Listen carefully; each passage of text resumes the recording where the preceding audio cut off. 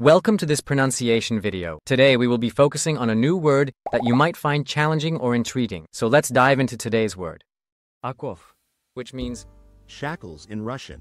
let's say it all together. Okov. Okov. Okov. One more time. Okov. Okov. Okov. Thank you for joining us on this adventure in pronunciation. Remember, language is a journey, not a destination. Keep exploring, experimenting, and expanding your linguistic horizons. We'll see you next time.